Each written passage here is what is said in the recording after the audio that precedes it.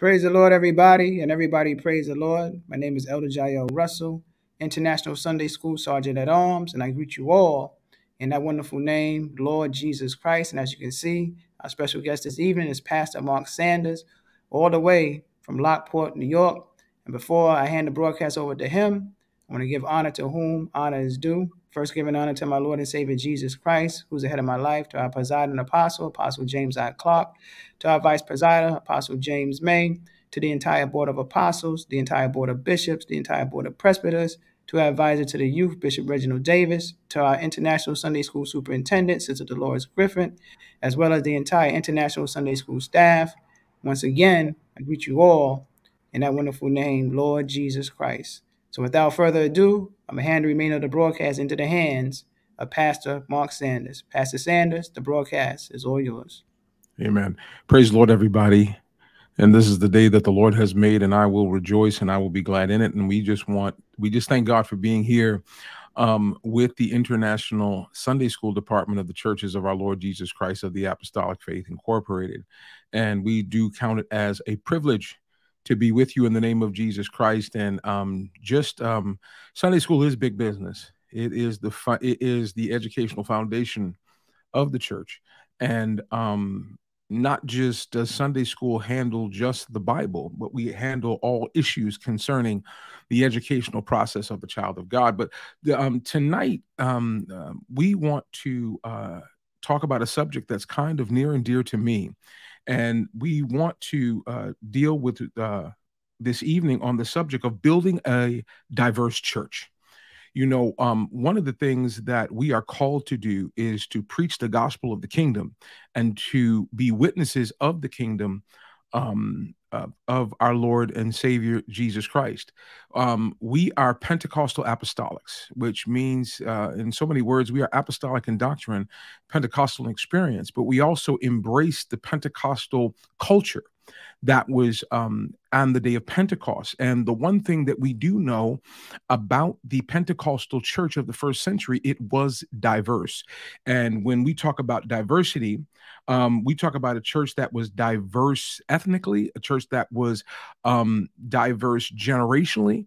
Um, and so we want to uh, in a church that was uh, diverse socioeconomically. So we want our church to look like the church that Jesus Christ called into being. So we have a few things on our PowerPoint presentation. So we're going to advance and just get right into it. Um, we'll go right on to the next.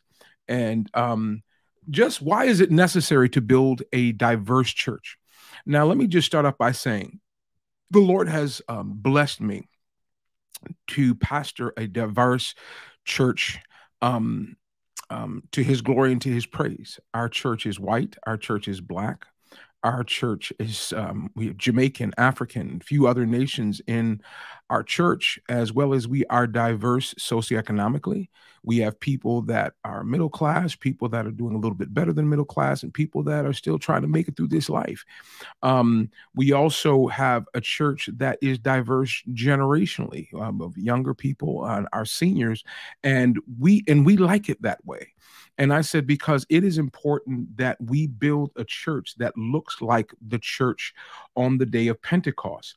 Because a diverse church is a fulfillment of the Great Commission to make disciples of all men. We don't get to pick and choose who comes to our church. We are a part of the whosoever will group. Let them come. And so it is important that we preach a gospel and present a church that um, builds up the entire um, that builds up the entire body of Christ. Because a diverse church, it also reflects the love of Christ that is offered to all. You know, and I'm going to say some things uh, possibly that might rub some people the wrong way, but I know I'm in the Bible, and that's the one thing that I have to be faithful to. I don't believe, and this is in my heart, that God called the black church or the white church or the Latino church or any other brand of churches. He only has one church. There's one Lord, one faith, one baptism, and there's one church. And that we ha- are responsible to preach the gospel to everybody that no one is left out of what God is doing. Um, even let's go to the text in Matthew 28 19. Um, we can go to the next slide and we can go to the word of God, Matthew 28 and 19. And the Bible says, Go ye therefore and teach all nations. Let me just stop right there. It says, Go and teach all nations. Um, and um, Scripture talks about um, go make disciples of all nations. That word nations is not the word country. That word nations is the Greek word ethnos, where we get the word ethnicity. And so we have to, we are called to preach the gospel to every ethnic group. Um, I'm also going to say some other shocking things to you. If you can only preach to black people, you can't preach. If you can only preach to white people, you can't preach. If you can, if you can only preach to rich people, you can't preach. You can only preach to poor people. You can't preach. This gospel is universal and designed to be preached to all men. And that is our mission. That is the missio dei.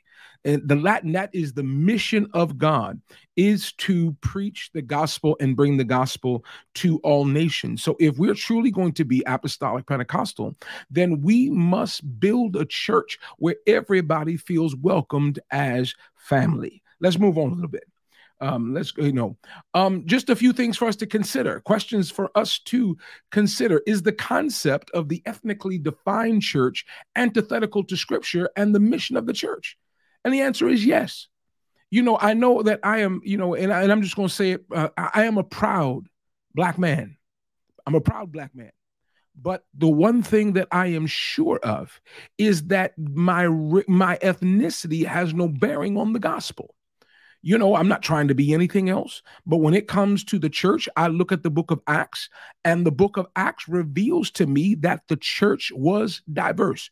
Okay, let's go. Let's go there. Let's go to the book of Acts. You know, you know what's you know what's Pentecostal apostolic. We love our Acts, but let's look in the book of Acts. Let's look who was there. Let's look who was present. Um, let's start. Um, in verse 7, Acts 2 and 7. And they were all amazed and marveled, saying one to another, Behold, are not all these which speak Galileans? So they, we're talking about the ethnicity of um, the um, the apostles being Palestinian Jews. And it says, And we hear every man in our own tongue, wherein we were born Parthians, Medes, Elamites, the dwellers of Mesopotamia, and Judea, and Cappadocia, and Pontus, and Asia, in Phrygia and Pamphylia and Egypt, and in the parts of Libya and Cyrene, and strangers of Rome, Jews and proselytes, Cretes, Arabians, we do hear them speak in our tongues the wonderful works of God. We just seen, um, we just saw a plethora of ethnic groups and different groups of people and people groups that were represented on the day of Pentecost. So that's one of the things that I thank God for is this is not a white man's religion or a black man's religion or uh, you know this is the gospel of Jesus Christ. This is the family of God, the ecclesia, the called out ones that do not segregate themselves based on race or gender or anything else, but we are the church of our Lord Jesus Christ. Let's move move a little bit forward. Um, and and let, we still staying staying right here. Let, us go back to that. It says, so how do we deal with the racist and prejudicial history of the church in America? Uh, there is no doubt about it that you through American history we have dealt with racism and prejudice and all these um, different things, but the church was supposed to be the example. The church was not supposed to it was not supposed to be a part of um, the racial tension and segregation. We were called above that. That's what it is to be holy. Holy is to be separate unto God. And the church was called to be holy to separate all those man-made divisions that divided us through history. That's why I'm so glad that the early Pentecostal movement, and we're going to get into that a little bit more in this presentation. The early Pentecostal movement was an integrated movement. Azusa wasn't a black thing, a white thing, was a God thing. And it was a man by the James uh, by the name of James Bartleman that said that the color line was washed away by the blood. If it was relevant then, then it's relevant now. So let's go back. Let's go back. Let, us go back up and say, so how do we deal? Uh, how does the church deal with economic inequalities in the church? Let me just tell you something. Um, when it comes to a diverse church socioeconomically, in our churches, you have people that are poor, middle class, rich. Um, the inequalities for those that are poor and have no food, we should provide. The Bible lets us know that they set aside money on the first day of the week. They set aside finances in the church to take care of the poor and take care of widows and orphans and those that did not have, you know. But let me just tell you something everybody's not going to have the same outcome, but everybody should have the same opportunities you know uh, there are people that have worked very hard and they have um, excelled themselves. Um, that doesn't mean that they have to take what they have and distribute it to everyone but the early church we saw that they gave to those that had need. That was a characteristic of the new testament pentecostal church is that if you had a need the church positioned themselves to be able to help and supply those needs. So let's go back a little bit um, how do we address the concept of multi generational ministry? Um, in our churches, let me just tell you something. As a pastor who's been pastoring about 23 years, I don't want a church full of old people and I don't want a church full of young people. I want a church full of everybody. And ministry has to cater, ministry has to address the needs of a multi generational church we have to address the needs of our seniors. We have to address the needs of our um, our um, middle age, our our teenagers, our children, because we're just one. We're one church. And I believe that through the power of the Holy Spirit, we can meet the needs of the congregation. Um, it, it, can't be, you know, you know, you'll be in churches and we we just want it the old way. Well, we can't always do it the old way. Young people, you can't always do it the new way. You have to do it God's way. And I believe that if we seek the Lord, the Lord will give us the wisdom on how to go forward in the Lord's church. Let's go a little bit forward. You know, these are just some of the the the, the history of America is the, the, the divided church in America. You know, it, we you know we cannot run away from history. We cannot run away from the inequalities and the injustices that have happened in the house of God um, you know, a lot of us have heard of the Azusa Street movement and the early Pentecostal movement. And a lot of that early legacy was marred with racism. It, and discrimination and people that didn't want to be associated with this group. And under Jim Crow, we couldn't have fellowship the way we wanted to have fellowship. And there were divisions and there was all types of mess. And God gave it when the Holy Spirit fell at the Azusa Street outpouring, when the Holy Spirit fell during that season, it was all people being touched by God, even though it was led by a half blind black man by the name of William Seymour. It was uh, it was being impacted by all different types of groups and nationalities that helped to usher in the presence of the Holy Ghost. That's why we we have to be bridge builders. If you want to build a diverse church, you have to be very intentional I was intentional and I prayed. I said, Lord, I want to be a church for all people. So I wanted to minister to whites and different groups of people. And let me just say something, it is a blessing. I have I, I have no qualms in saying that the fastest growing demographic of my church are white families. Um, you know, and because I'm not building a black church. I'm building the church of Jesus Christ. And I know there's some people that so-called woke that disagree with me, but it's all right because I'm trying to do it the Bible way. I'm trying to do it the Pentecostal apostolic way. Is to build a church that reflects Jesus Christ, his love and his family. Okay, let's go forward. Um, you know, there's something by Martin Luther King. He said, unfortunately, most of the major denominations still practice segregation in local churches, hospitals, schools, and other church institutions.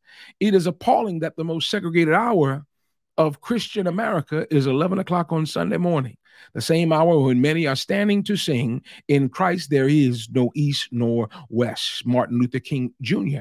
But I, it, it, it to say, even though things are, have changed, they're not changing quick enough because we're still having we're still a segregated time we're still in having um, even we've looked in the past few years the separation um, in church politics and political um, um, endeavors of splitting down color lines.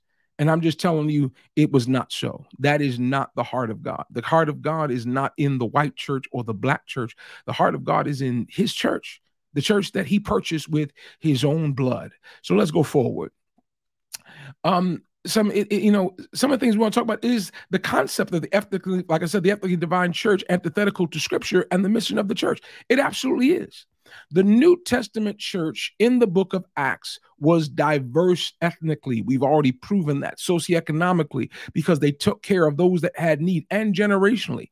We have seen throughout the entire books of the Bible, uh, um, uh, out of the entire New Testament, you know, Paul is instructing to the old women to teach the young women and the older men to teach the younger men. That's intergenerational ministry. That is us learning from each other. See, I don't want to grow up in a church with no hymns you still need some things that come. I don't want that new Holy Ghost. I want the old fashioned Holy Ghost. Come on, somebody. I don't. I, I don't want that new Jack Holy Ghost. I want that same old Holy Ghost that they got filled with on the day of Pentecost. If there's a new Holy Ghost, I don't want it. I want the old one. I want the one that we are familiar with, the one that was recorded in Acts two and four. We want the Holy Ghost that was, you know, recorded throughout Scripture. So it is important that we understand that the Lord wants a church that's diverse. Now, I understand that some of you are in areas where everybody looks like you. If you ministering like my friend in North Philadelphia, or you are ministering in a Harlem, but guess what? These neighborhoods are changing. Yo, if y'all been to Harlem lately, it's changing. It's, it's becoming every major city, and yes, some of it is happening through um, gentrification, but they, they but they're expanding. See, let me just tell you my own personal testimony the Lord told me that I would not survive being a black church, but I have to open up my heart and open up my doors to everyone. And a lot of churches said we open up our hearts and doors to everyone, but no, but are you intentional? Come on, look at our outreach programs. A lot of times in the black church, our outreach program is to black people. If we look at our food programs, they are geared to people that look like us. That's why we have to come out of those silos and we have to be the true church of Jesus Christ. Let's go back. So we understand that the mission of Jesus Christ was to bring all men back into fellowship with a holy God. That's when Jesus was quoted in the book of Matthew. We are to go make disciples of all men. How many men? All men. So we have to start gearing our churches to be churches that reflect Jesus Christ. Jesus is looking for a church that looks like him. He is the head and we are the body, and they must they must be joined together. You know, and, and, let me just tell you something, it'll bless your ministry, bless your church when we open up our hearts and say, we want everybody, um, we want everybody in our doors. Back up a little bit. Amen. Um, you know, so the ethnically defined church is a product of the hardness of the heart. I know it says the harness, but the ethnically defined church is a product of the hardness of the heart. If it wasn't for racism, we wouldn't have needed the black church if it wasn't for racism, racism forced us into having our own institutions. You know, I, I, had a young man ask me, he says, Well, Pastor Sanders, you know, you say you don't believe, you know, why why is there black colleges? Well, um, well, sir, there's black colleges because we weren't allowed in the white ones. Things were deemed necessary that we could advance. But I believe from the beginning it was it, it, it was not so. If we would have just got all together and didn't have all the evil institutions we had, there should have been one united front of a church. But that's how sin works. Sin comes to divide. The thief comes to steal, kill, and to destroy. And so we need to go back to the original intention of God. We know that got to the original order of Pentecost was a salvation that was given freely for every man, woman, and child. Amen. Just back. Uh, so um, let's go forward. I think we at the end. Let's go forward. So you say, so how do we deal with the uh, prejudicial history of the church in America? For one, my God, we, there has to be. You know, you look at look at this. Look at this slide right there. In the midst of the Ku Klux Klan, it says over it, Jesus saves. If that is no more of a contradiction than I've ever seen, but that's what our country was birthed out of. And that's why we need massive repentance and massive forgiveness and to um, actually um, disavow from white supremacy. We have to disavow from racism and prejudice and discrimination.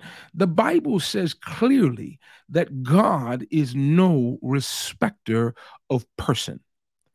God does not, he's no respecter of person whether you're a Jew or a Gentile, black, white, whatever it is, male or female, God is no respecter of person. He has elevated no man because in the eyes of God, we were all sinners. We, we, we, we all deserve death. But God, who's rich in mercy, come on, somebody. And that's why we thank God because there is power. There is power in the name of Jesus Christ. There's power to pull down the walls that divide us. Let's go forward. So, questions: how could the solution become part of the problem? You know, you know, the solution for racism and discrimination was the church. We were the solution. That was proven on the day of Pentecost. It was proven in the Azusa Street outpouring that it was the church that was designed to heal the world of racism and discrimination. But instead of being the solution, we became part of the problem. Now the church became the part of the problem. So I just want to point out a few things in the Apostolic Pentecostal Church in perspective of race and diversity. Apostolic Pentecostals embrace the teachings and practices of the primitive church. If someone ever asks you, what does it mean to be apostolic? You can tell them something simple like this. To be apostolic means we believe in the teachings of the apostles as they were taught by Jesus Christ and the prophets we uh, as as apostolics what the apost- what, what the apostles taught and preached is the normative for the church. So when we see the day of pentecost and we see the ethnic diversity on the day of pentecost that's how it was supposed to be. We look at philip who ministers to an ethiopian eunuch where he is baptized and receives salvation. That was the norm. We see the apostle peter in the house of Cornelius, who was a Gentile. And he and his whole house was filled with the Holy Ghost and baptized in Jesus' name. That's how it's supposed to be. We're not supposed to break off into our own camps, into our own tribes, but that's the way it was supposed to be. Let's go back. Oneness apostolics are one of the few denominations, if that only, in this country that originated in integration. The pillars of oneness apostolics wasn't just black, wasn't just white, it was all of us.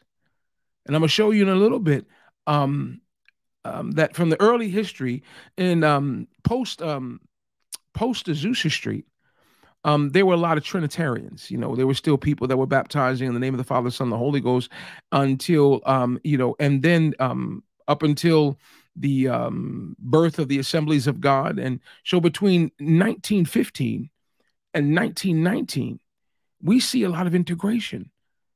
That was leadership. It was G.T. Haywood who was preaching messages for the assemblies of God. Some of the first white assemblies of God uh, preachers were licensed by um, Charles Harrison Mason, who's the who was who was one of the originators of original founders of the Church of God in Christ, because they were a legitimate organization. So oneness Pentecostals, we started out together. We look at the structure today. The largest, the largest oneness Pentecostal group in the world is the United Pentecostal Church Incorporated. Pentecostal Assemblies of the World, Church of Our Lord Jesus Christ, Bible Way, um, the PCAF, um, all these different groups, but we all started out together. And it's something that I think we need to consider. That was in the plan of God. I really believe, people of God, and if you're mad at me, I'm sorry you're mad at me. The original plan of God was the church was to be diverse. It was to look like the love of Christ. And so when you talk about building a, a diverse church, for one thing you have to do is you got to learn how to love and appreciate people that don't look like you. And that goes both ways, sideways, and every way. You can't hate someone and worship with them at the same time. You can't devalue someone and worship with them at the same time. You have to see me. You have to recognize the differences. You cannot ignore history. And that's either way. You cannot ignore Bible history. You cannot ignore American history. But in order, when you build a diverse church, you have to say, in so many words, we see you. We don't want you to change. We want to love you just the way you are. See, when you start building a diverse church, I'm not looking for people that we all act the same. I think that we should all express and be able to know that we're different. but we love each other as family just the way we are. Let's st- step back a little bit. Amen. Let's go back. Um, you know, so from and racism and Jim Crow laws were a primary reason for the separation. We tried to be together. We even there was a strong out of every group that separated Baptist, Methodist, it was the apostolics that tried to keep it together. But sin is a mean thing when you allow it in the church. Through the sin of racism and um, legalized discrimination, such as Jim Crow, it divided the church. It divided brothers and sisters, and where it just um, and and it seems like we did not fully recover from the trauma of racism and discrimination. Let's ask an honest question. How many how many people in your church don't look like you? Now everybody now everybody can't help how way the, the church looks. That's just who comes. But if you open up your heart and you pray and ask the Lord, Lord, use us to reach out and to save as many as we can. Why is this um, a Sunday school message? You might ask, well, you know, Sanders, why is this a Sunday school message? Because let me just tell you something Sunday school is an evangelistic arm of the church. Sunday school can be, hey, if you can't get them to church, invite them to Sunday school. You know, we, we invite your coworkers, bring their children, everything. So we have to have ministries that cater to diversity. And so Sunday school is a beautiful one because Sunday school ain't got no color. We're just teaching the word of God, and we invite you to participate in what God is doing in our teaching ministry. Let's go forward.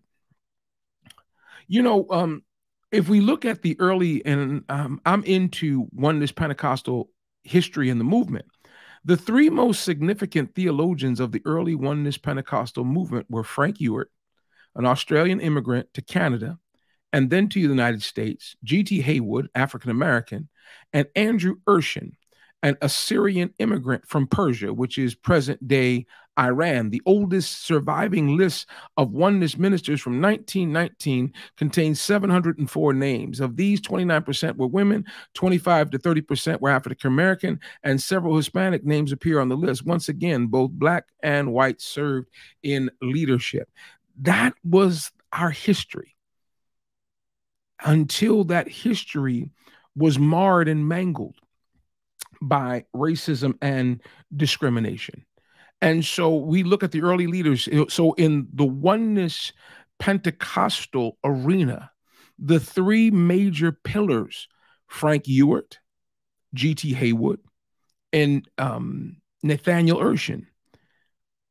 Mostly every oneness Pentecostal group in the country, in the world, come out of those three.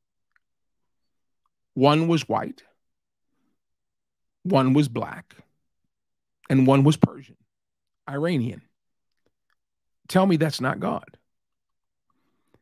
And so I believe that we need to revisit some things and to recognize is our church lining up with what God wants, or are we just maintaining what we want? Let's go forward. So, for one thing, the church, one thing, what the church must do, one is repent. If you have closed your heart, your efforts, and your resources to people that don't look like you, repent for it.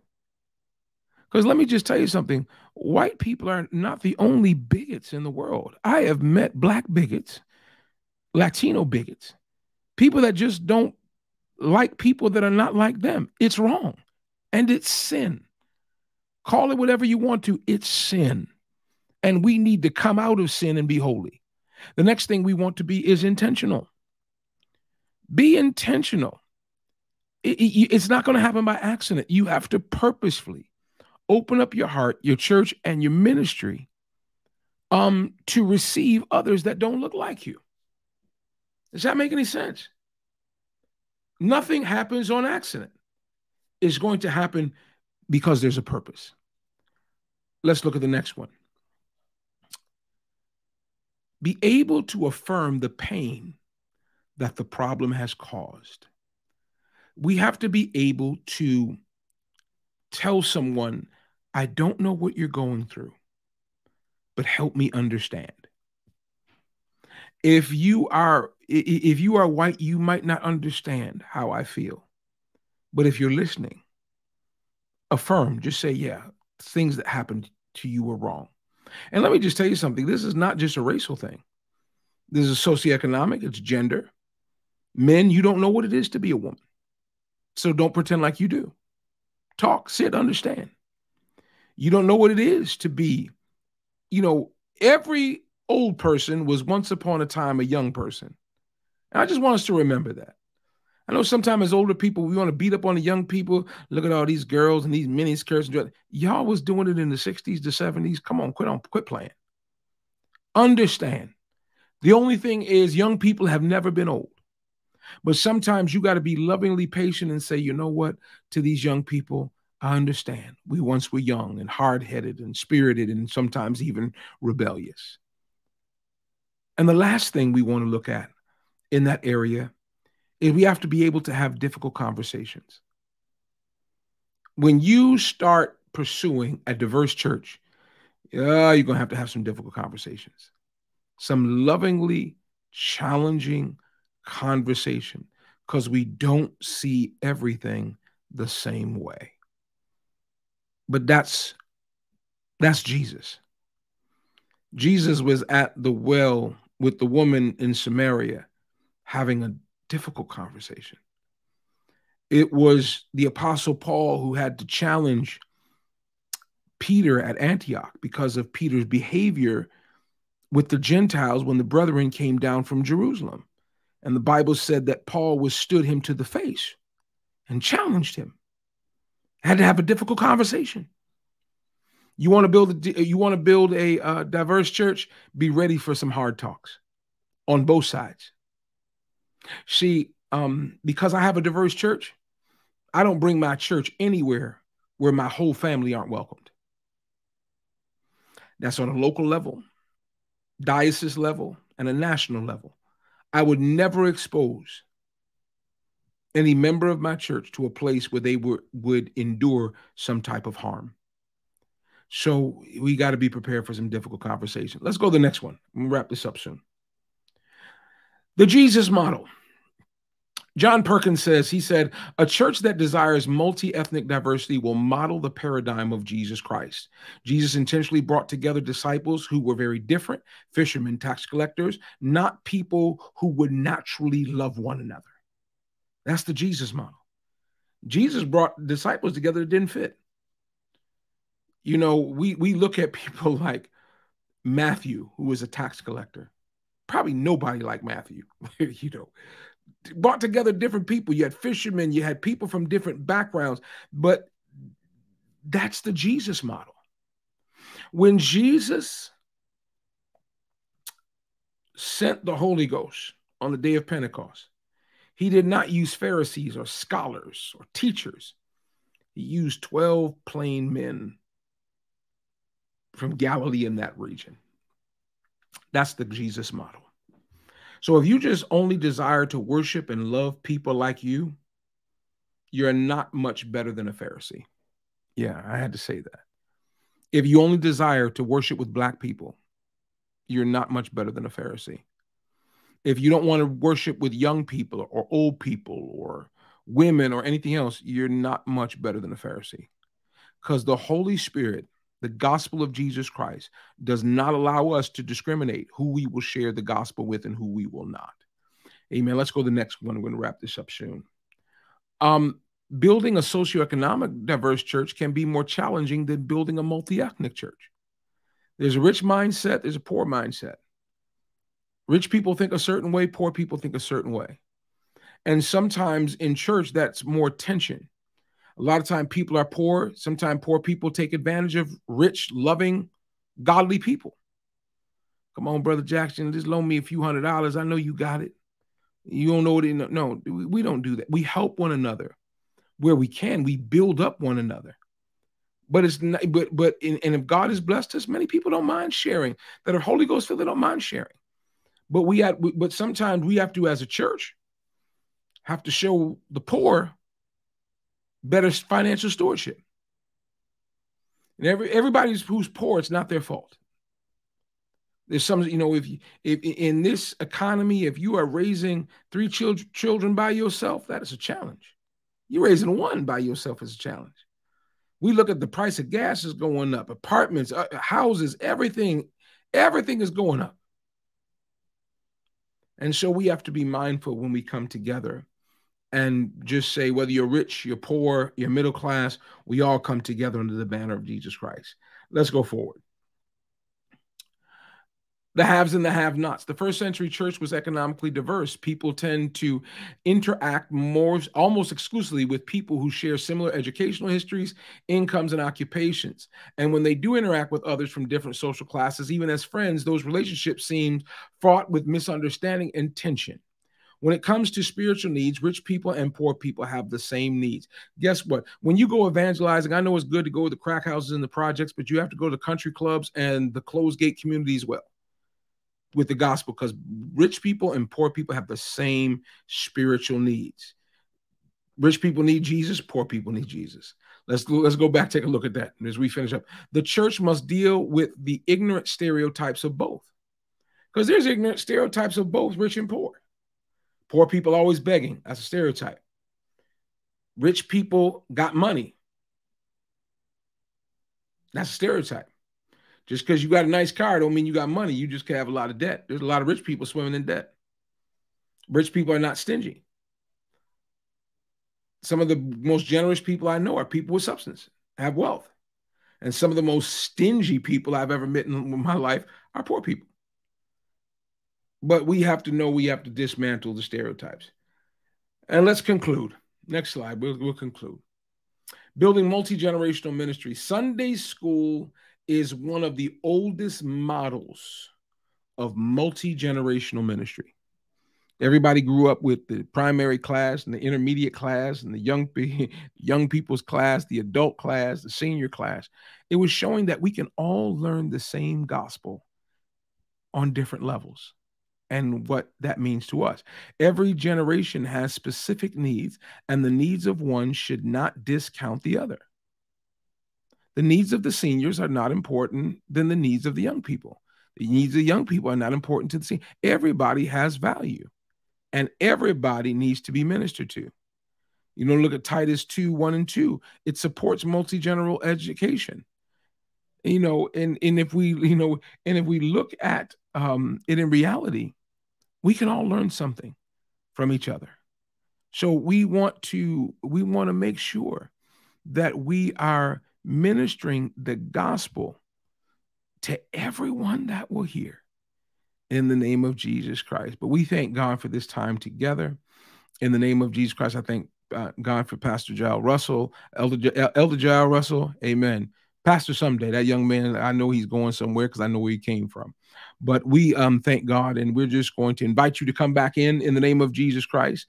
Hallelujah. As we um we come to our uh, conclusion.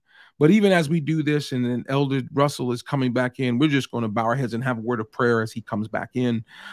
Father, in the name of Jesus, we thank you and we give you praise and glory because you are the great and the mighty God. Lord, we thank you, Lord God, that there is no one like you. And we ask you, Lord God, give us the wisdom and the fortitude to build a church that you desire, not what we desire. And Lord God, we will always give you all the thanks and we will give you all the praise. In the blessed name of our Lord and Savior, Jesus Christ. And let the people of God say, Amen. God bless you. May heaven smile upon you. Amen. Amen. Amen. Thank you, Pastor Sanders. Man, that was a great workshop. I was truly blessed by it. I know that everybody watching this evening was uh, definitely blessed by it. And, you know, you fed us well tonight in the name of the Lord Jesus Christ. Hallelujah, Jesus. I'm, I'm full. Amen. You know, when the Lord comes back, when he wraps up his church, that's right. People are going to be shocked. And it's not just going to be blacks, and not just going to be whites, and not just going to be Hispanics or Asians. Hallelujah in the name of the Lord Jesus Christ. Hallelujah. Hallelujah. Anybody, hallelujah, that wants to get saved, hallelujah. Oh, they can be saved in the name of the Lord Jesus Christ. Hallelujah. Whosoever call upon the name of the Lord right. Amen. Saved. Amen. He doesn't want anybody to perish. Hallelujah. He Mm-mm. wants all men Oh, to Amen. come to the knowledge of the truth. Hallelujah, Jesus. Amen. Oh, yes, Lord Jesus. That's what we, that's the type of God, hallelujah, we serve in the name of the Lord Jesus Christ. One scripture came to my mind you know, as you was teaching, First John uh, chapter four, verse twenty. If a man say, "I love God," and hateth his brother, he is a liar. For he mm-hmm. that loveth not his brother, whom he hath seen, how can he love God, whom he hath not seen. And you go to verse 21, and this commandment have we from him, that he who loved God, who loveth God, love his brother also. That's scripture. Amen. That's scripture. So, you know, we if, if we're saying, or we got the love of Jesus in our hearts, hallelujah, Jesus. And by this men shall know that you are my disciples. disciples. That's right. You have the love toward. Amen. Amen. Amen. And, and and I think that's one of the amazing reasons why, you know, it's difficult for some, you know, to reach out, you know, to uh, other cultures, other races, because that love of God is not strong, not mature enough. Amen. Hallelujah, Jesus. We got to be mature in the love of Jesus in the name of the Lord Jesus Christ. Hallelujah, Jesus. Amen. Oh, hallelujah. Mark, Pastor Sanders, hallelujah, was on it tonight. I just can't witness the people that look like me. Hallelujah, Mhm. Jesus. I can't let the white person, you know, walk by me. I can't let the Asian walk by me. Hallelujah. Then hand the track. Hallelujah. Just to the black brother or the black sister. Hallelujah. Then let Yeah. the, the Hispanic male, the Hispanic family walk past me. Hallelujah. The Ethiopian family walk past me in the name of the Lord Jesus Christ. No, hallelujah. Oh, hallelujah. Jesus wants everybody saved. Hallelujah, Jesus. If my heart is right, hallelujah, for souls. Amen. Jesus You know, when all, you look at all souls are mine. Hallelujah. I'm gonna say it again. He said, all souls. all souls, when you look when Jesus said, I must needs go through Samaria. The Jews hated the Samaritans, but Amen. Jesus said, I am intentionally walking through their neighborhood because I have a destiny to meet somebody who's going to carry the, my name and carry the gospel. And we see in the book of Acts the great revival that broke out in Samaria because the seeds were planted because Jesus said, I must needs go through. Samaria. That's why we have to, even in neighborhoods and people seem closed off to us, we have to make up in our mind, I need to go through that neighborhood. Amen. I need to meet those people because there's a Jesus they need to meet. Amen. Amen. Amen. Amen. Amen. Amen. And I was, you know, fortunate, uh, you know, to go to Oral Roberts, you know, University, and you know, that's a very diverse campus, and it was a blessing. You know, I met people from Africa, all over the world, different cultures, different races. Hallelujah. And we all have one thing in common: we love Jesus. Hallelujah, Amen. Jesus. That's all. Hallelujah, Jesus. That's it. Yeah, when you're around, hallelujah, people that truly love God, hallelujah. They're not looking at color, they're not looking at race. You know, my, my, my white friends, we still keep in contact.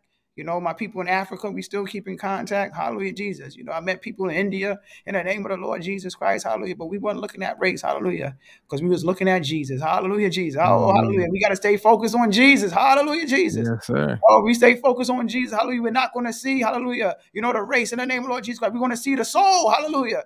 Oh, hallelujah. That needs to be saved in the name of the Lord Jesus Christ. Hallelujah. Thank you, Jesus. Oh, yes, Thank Lord Jesus. Jesus. Hallelujah, Jesus. Lord, help us to grow. Oh, in your love, in the name of the Lord Jesus Christ. Lord, help us to love like you. That's what you commanded us to do, to love like you. Amen. Hallelujah, in the name of the Lord Jesus Christ. Hallelujah. That's what we got to grow up in. Hallelujah. Lord, help us tonight, in the name of the Lord Jesus Christ, to love like you, Lord. Train us to love like you. Oh, so we can show that love, hallelujah, against to anybody in the name of the Lord Jesus Christ. Hallelujah. I should be able to witness to every to anybody. I should be able to hug anybody. I should be able to love anybody in the name of the Lord Jesus Christ. If I truly got Jesus living in me. In the name Bless of the the Lord Jesus God. Christ. Hallelujah. So as you see on the screen, Sunday school is big business. Big business. Hallelujah. We are about our Father's business, even amidst of a pandemic. If you like this video, which I know many of you did, hit that like button. If you haven't subscribed, please subscribe. And you can also use this as an evangelistic tool. You know, Elder Sanders says Sunday school is a is a is an arm, hallelujah, of, of evangelism. And all you got to mm. do, hallelujah, just you can share this to your to your friends and your family through text or phone. I do it all the time. I just pull up the website on my phone and just send them a text and come right to them. Hallelujah, Jesus. and they Bless the can be name of our blessed. Hallelujah. In the name of the Lord Jesus Christ. Hallelujah. So, Pastor Sanders, we thank you again, uh, you know, for being a blessing. And please feel free, you know, whenever you have time, you know, to come back. We always enjoy you and we love to have you in the name of the Lord Jesus Christ. Hallelujah, Jesus. Hallelujah, Jesus. So, without further ado, we're about to close. I'm going to play our outro video. And the rest of you have a good night. Be blessed in Jesus' name. Be blessed. I am Karen. I attend the United Refuge Church, 462 Main Street, Orangeburg, South Carolina, where my pastor is District Elder John H. Mosley. God bless you and praise the Lord, everybody. Hallelujah.